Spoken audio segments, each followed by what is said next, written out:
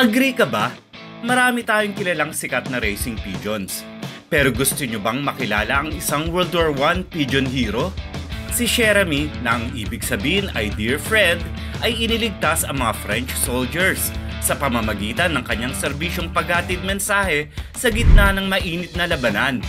Sabi sa history, si Jeremy ay napuruan sa legs kung saan nakadikit dito ang mensahe ngunit nagawa pa niyang maihati dito bago binawian ng buhay.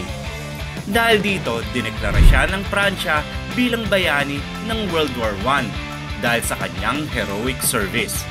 Agree ka ba?